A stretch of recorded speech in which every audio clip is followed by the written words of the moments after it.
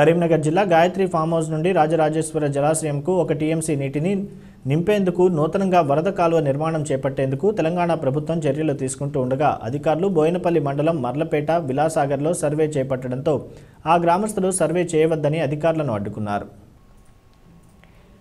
విషయం తెలుసుకున్న సిరిసిల్ల ఆర్డీఓ శ్రీనివాస్ విలాసాగర్కు రాగా తమ గ్రామం నుండి కాలువ తీయటం ఒప్పుకోమని ఇప్పటివరకే పాత కాలువ కింద తమ భూములు కోల్పోయామని ఆవేదన వ్యక్తం చేశారు. ఇప్పటికే ఉన్న కాలువ కింద ఒక్కో రైతు భూమి చాలా పోయిందని ఇప్పుడు తమ భూములు ఇచ్చే ప్రసక్తే లేదని అన్నారు.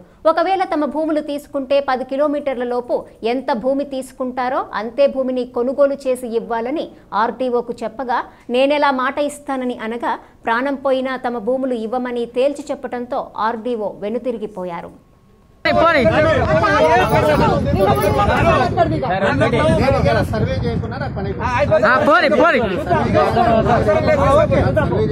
ఈ రోజు పోతానే మళ్ళా. మేము ముందు ఓడిపోతాం ఇల్లు పోతానే భూములు పోతాయి. మా పరిస్థితి ఏంది? మేము ఏం చేసి.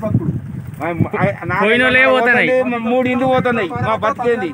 మాకు ఇప్పటికీ మూడు అప్పుడు పోయింది ఇప్పుడు ఐదు పోతుంది. ఎనిమిది ఎకరాలు పోతుంది. పొలం తగ్గినట్టు. మాకు వేరే ఆధారం లేదు చెప్తాను బాధ. పోతా పోను పోయినా వాళ్ళకి రెండు ఎకరాలు పోయింది వాళ్ళకి పది ఎకరాలు పోయిన వాళ్ళు కూడా మరి ఆల్రెడీ పోయింది మళ్ళీ మళ్ళీ పోతుంది. ఈ బారు పోయింది సార్ మళ్ళా అంటే మాకు కావాలి కదా. భూములకు బదులు జాగాలకు జాగాలు బదులు ఇయ్యి. ఇరవై కిలోమీటర్ ఇచ్చిన పర్లేదు